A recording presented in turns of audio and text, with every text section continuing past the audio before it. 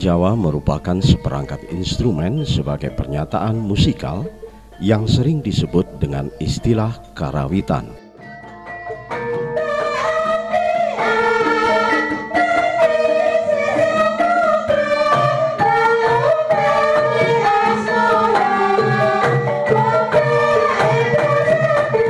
Karawitan berasal dari bahasa Jawa, rawit berarti rumit, berbelit, sulit, tetapi rawit juga berarti halus, cantik, berliku-liku, dan enak.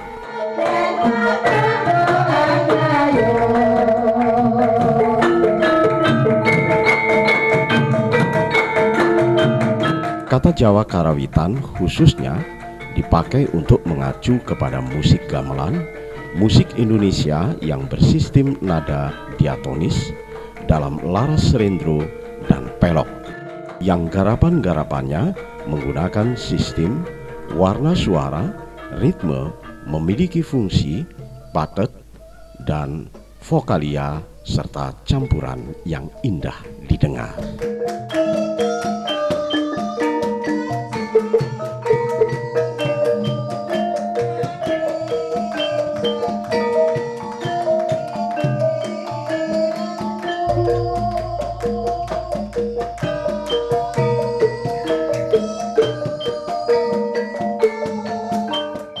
Sejarah seni karawitan Jawa tidaklah terlepas dari perkembangan alat musik yang secara hipotensi diketahui telah ada sebelum masuknya pengaruh agama Hindu di Indonesia.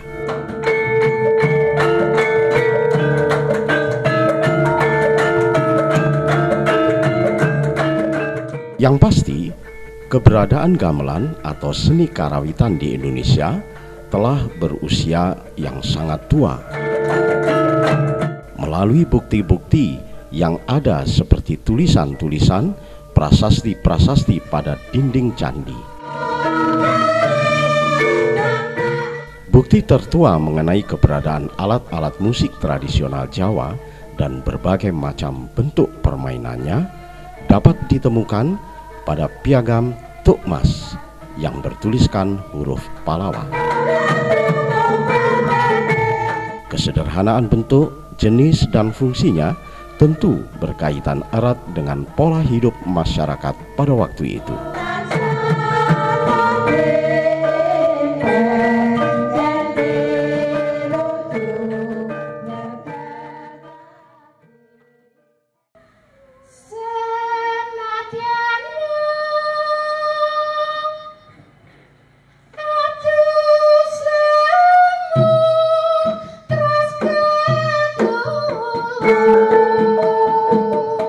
Perjalanan panjang seni suara karawitan akan selalu dikaitkan dengan keberadaan kerajaan-kerajaan besar yang pernah ada di Pulau Jawa, seperti misalnya Mojopahit dan Mataram.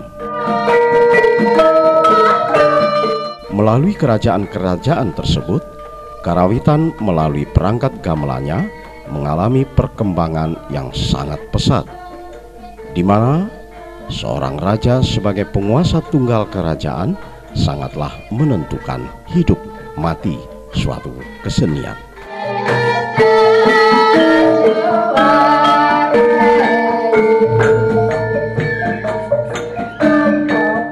Seperti yang diutarakan dalam puisi abad ke-14 Kakawin Negara Kartagama Kerajaan Majapahit mempunyai lembaga khusus yang bertanggung jawab mengawasi program seni pertunjukan.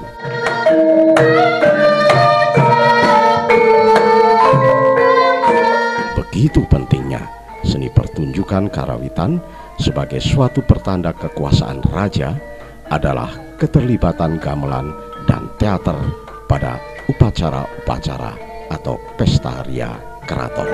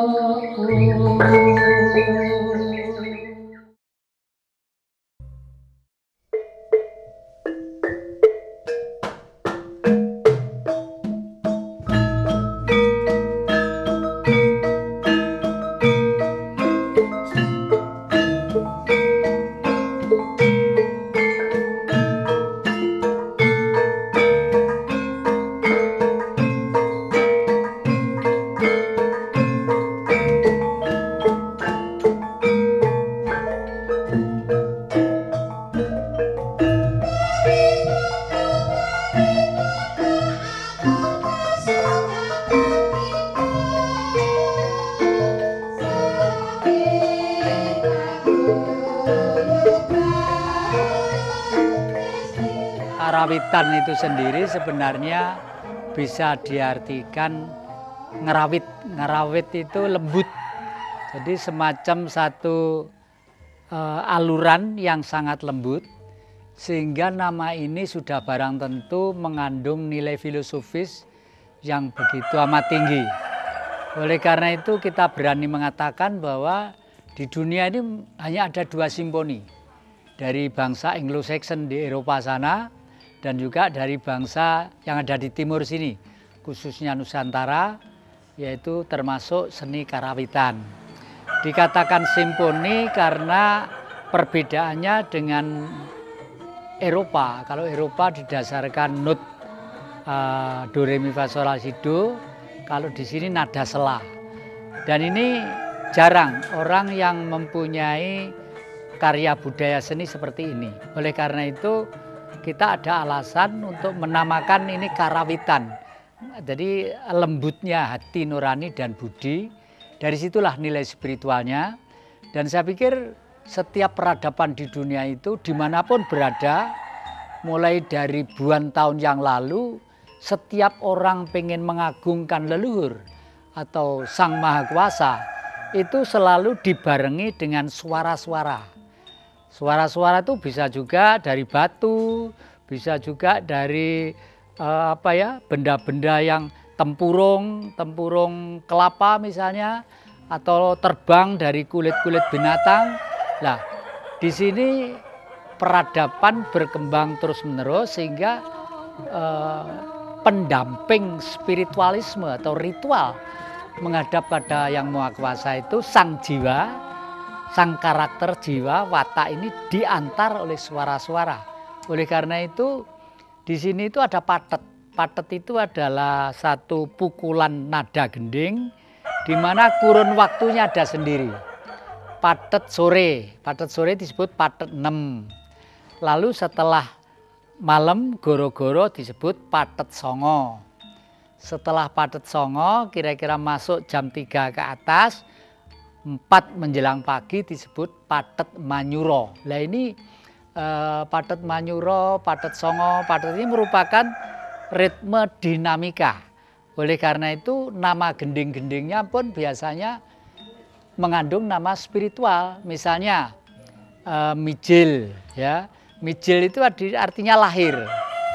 Lahir lalu setelah mijil biasanya ada ada waktu orang menjadi remaja, ada yang namanya celuntang bisa juga, ada yang namanya uh, apa uh, dandang gulo bisa juga di situ ya.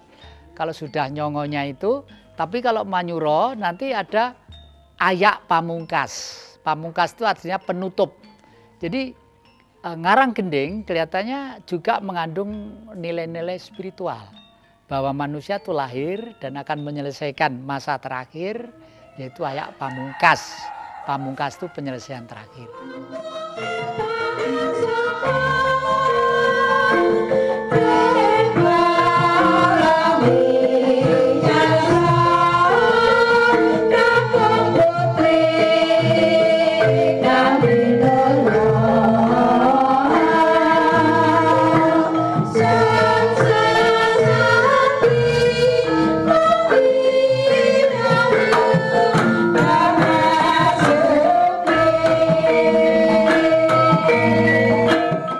Memang berkembangnya menjadi indah setelah para bangsawan itu menata struktur kehidupannya lewat satu mekanisme dan satu strukturalan yang mapan gitu. Lalu makanya setelah itu ada gending megat roh, pegat roh.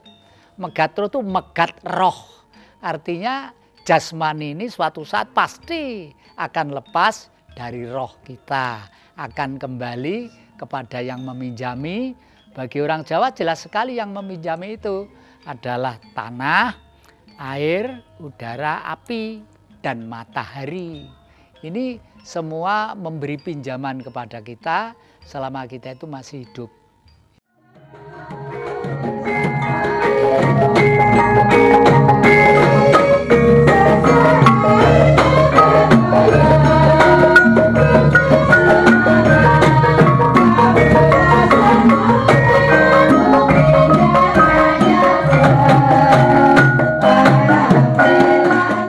Itu fleksibel sekali. Jadi bisa ngemong zaman gending itu karena waktu dulu pertama kali yang masih dengan istilah klasik itu adalah fondamen dasar.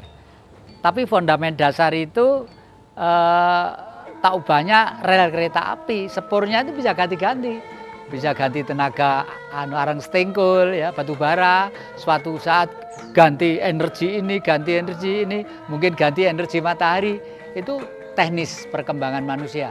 Jadi gamelan pun menghadapi modernisasi itu banyak misalnya kita ambil contoh salah satu eh, kreasi dari rekan-rekan seniman di Jawa Tengah ya di Gunung Kidul sana itu mengkombinasikan dengan istilah baru yang disebut campur sari. Campur itu bersamaan, sari itu inti.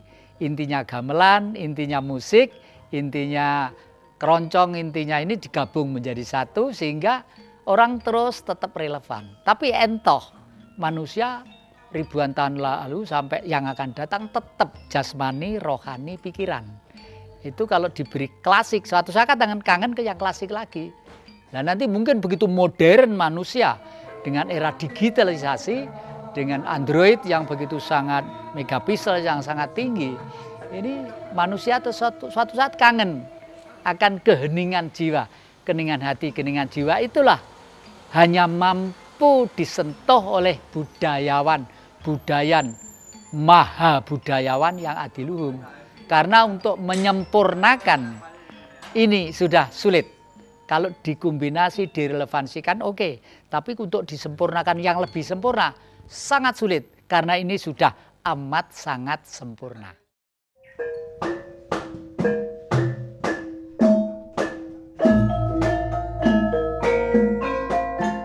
Perkembangan seni karawitan berlanjut dengan munculnya kerajaan Mataram.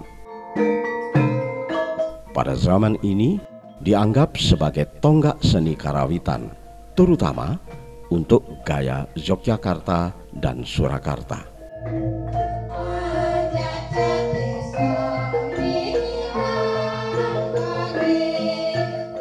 Tidak saja penambahan jenis-jenis gamelan saja, melainkan fungsi seni kerawitan pun mengalami pengembangan.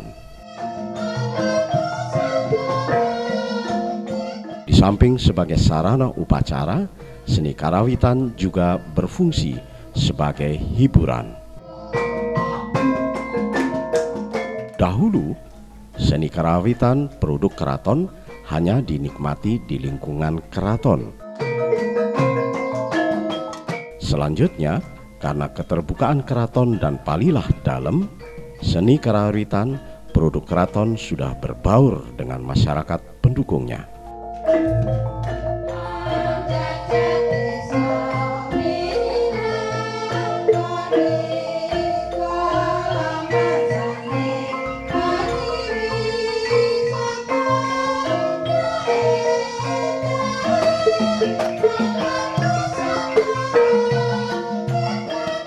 Dari realita tersebut terlihat begitu kuatnya peran penguasa dalam menentukan keberadaan suatu bentuk kesenian. Sabdo Pandito Ratu merupakan kebiasaan yang tidak dapat dihindari dalam kehidupan pada saat itu. Eksistensi dan perkembangan kesenian di masyarakat, keadaannya, penciptaannya, pelaksanaannya, tergantung pada kegiatan para pendukung dan adat kebiasaan yang berlaku. Popularitas suatu cabang seni bertalian erat dengan kegemaran orang banyak pada suatu waktu. Hidup suburnya berkaitan dengan penghargaan bantuan material dari penguasa yang berkuasa pada saat itu.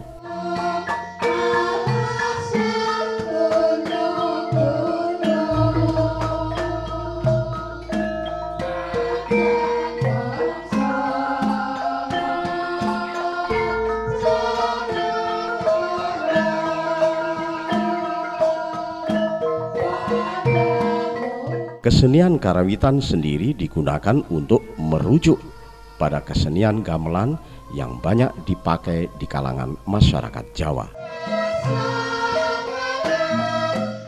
Istilah tersebut mengalami perkembangan, penggunaan, maupun pemaknaannya.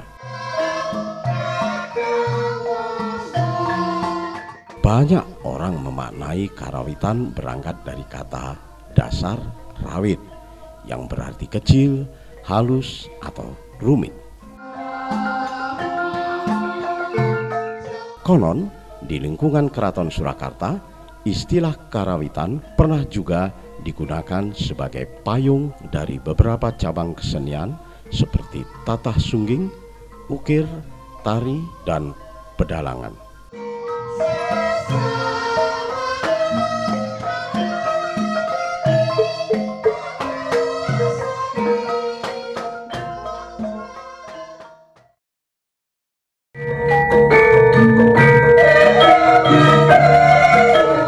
Melalui gamelan, seni karawitan mampu mendidik rasa keindahan seseorang yang diharapkan untuk menumbuh kembangkan kesadaran pada nilai sosial, moral, dan spiritual.